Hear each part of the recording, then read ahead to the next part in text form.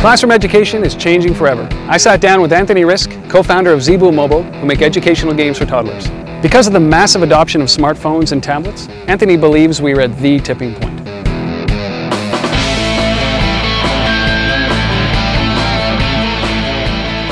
Okay, so Anthony, what are you seeing out there today that is working in this in this space and, and helping maybe push uh, toddlers um, a little bit more knowledge, a little bit more uh, you know early childhood development? Right. So the, the big thing is keeping toddlers engaged. So anything that keeps a toddler engaged and is has some educational value will will work in some way. And so the question about keeping toddlers engaged, it's uh, immediate feedback, interactive, anything interactive. Sounds. Sounds. Sounds are big. Animation Vibrations, big. yeah, You know, certain sounds like little boys love uh, racing cars. Uh, some little girls love racing car sounds and things like that too. Yeah. Uh, you know, flowers, bright colors, all kinds of things. So immediate response is one of the things that this uh, this platform allows you to do. Yeah, immediate. That's exactly it. Immediate response, um, so that you know right away if you're doing something right or if you're doing something wrong, and you get an immediate reward. You've got a short window of time to be able to, uh, you know, entertain or educate or Right. edutain children with these devices. Right. Oftentimes, it's in it's in a lineup in a grocery store. How do you you've got to create a product that that does one thing and one thing very well, or do you try to do a little bit more uh, of a complicated uh, application? It has to be simple. Uh, so either one product that does one thing very simply, very well, Yeah. or a product that has multiple different game modes, and each game mode is separate and simple. But one thing. One thing simple time. grabs the toddler's attention immediately. It's the same thing, you know, over and over again. Slight variations maybe, but they've got to get into it right away. It has to be simple. It has to be engaging from the first second, and it doesn't overwhelm, right? and it doesn't overwhelm. Sim- simple, simple to use. Simple, yeah. So they, they any um, and, and almost very flexible too. So almost anything that they do gives them some kind of reaction because a toddler will you have no idea how they're going to interact with these things. No, you don't, and they might throw it, and That's that's, exactly not what it. going to happen. So, what do you, what do you see that's coming down? I, I mean, if you just kind of project yourself a couple of years, I mean, we both have young children.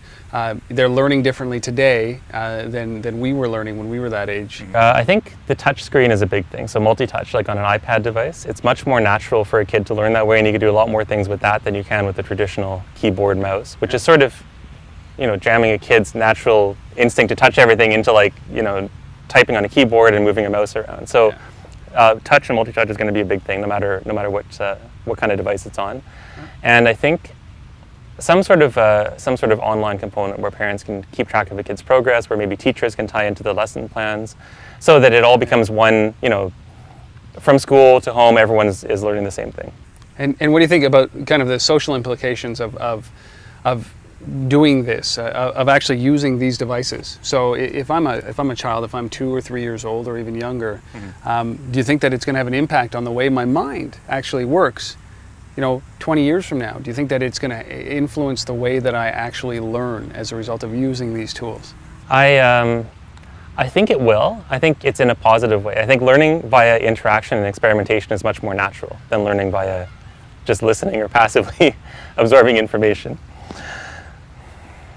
And see, Okay. Hannah, of course, the wants some social contact. Well, that's So- always good, right? Exactly, that's it. So uh, I, I, I think that uh, it's going to take time away probably from more passive means of media consumption. So it's not going to take time away as much from kids playing together as much as from kids watching TV. And I don't think that's a bad thing. No, and do you think that maybe this would be an actually, uh, uh, you know, an appealing way for to, for for kids to learn, as opposed to being told what to do? This is something that they can embrace and Yeah. learn on their own. Yeah, and I- self development. And I think that's great because you know once you once you leave school, most of the learning that you, you do is experimentation, right?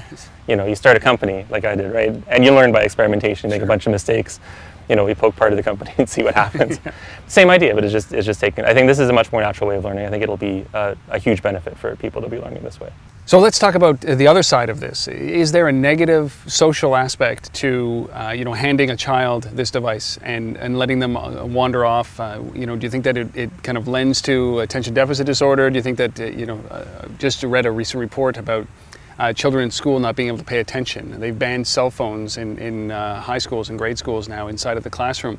What, what do you think that, do you think that this will contribute to that?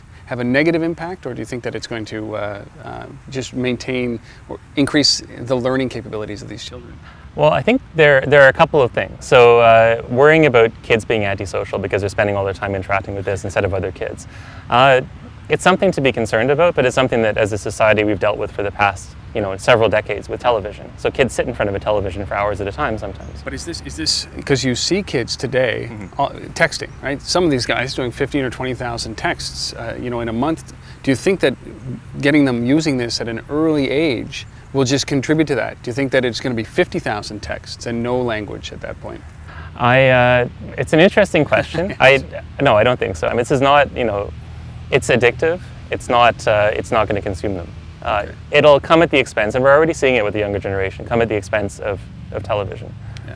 um, of passive media, eh, where you're just sitting and watching. Do you think that they'll be more, uh, you know, introverted, uh, isolated as a result of, of doing this? I think that uh, they'll be different. They'll interact differently socially. We're already seeing this with the with the net gener- you know, the, the generation that grew up with the internet. They're more comfortable, or at least as comfortable interacting online as in person. Yep.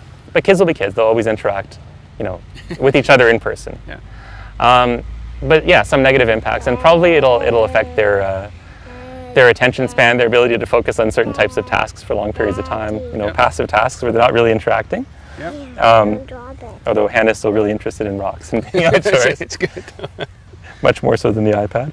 Uh, but uh, but kids are going to get hold of this stuff anyway. This is the kind of world that we live in. So if you if you're hand in hand with your kid, teaching them about this from a young age, they'll they'll learn. Setting limits, saying, okay, this is fine to play with in short periods of time. Then you've got to go do something else. You've got to go play outside. You've got to run around. Yeah. Um, it's better that they learn that from a young age than that their first exposure to this is when they're nine or ten years old.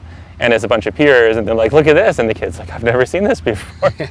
and then it's then it just opens up the floodgates. exactly. Exactly. So, at what age uh, do you start handing devices over to, to children? I mean, everybody in high school and grade school seems to carry them around. They're so cheap these days, comparatively.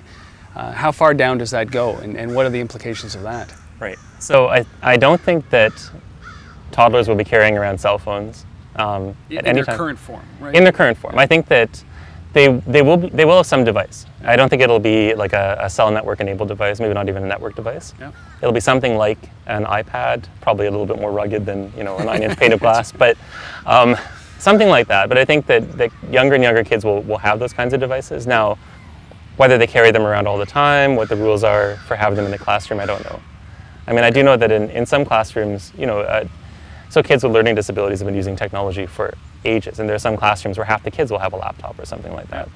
Uh, this, you know, a, a iPad, a touch device, is much more natural to use than a than a laptop. Could be much more valid as a communications uh, aid. So there's going to be a point. Uh, there's certain circumstances where it, it'll require it, but at, at you know, not every two-year-old is going to be carrying around a, uh, a device uh, Right, uh, right. or a, a cell cell-enabled device. Right. Um, I think a big reason kids are not going to be carrying around devices at a young age is because they just lose things, right? So, you know, oh, you lost your kitty cat at school. Do you remember where you left him? No, he was somewhere. You lost your $500 device. where did you put it? I don't know. But if it ends up being a throwaway, uh, you know, some of these devices, uh, you know, you can get a BlackBerry now for twenty-five dollars, or you can get, you know, certain devices for, for no money down. So is that like, uh, price will have a factor in this, obviously. Price will have a factor, yeah. Um, I doubt teachers will allow them in, in classrooms early on. in JK and in JK, and but kids play with computers from a young age, and, and if they've got something that's sort of their own that they can call their own, it's it's still up to parents to, to make sure they don't spend all their time uh, playing with the devices. Um, do you think that the long-term implications of this will have an impact on how people or how children learn in the classroom? Do you think that that's what we're seeing here? Yes, I think this is the tipping point. So where it, it changes from a, a system that we've had from you know as long as we can remember, where there's a teacher lecturing, you know, at a blackboard to a bunch of kids, to uh, kids who can who can interact on their own and learn things on their own and at their own speed. You know, be it faster than the normal speed or if they need to be slower in, in certain areas.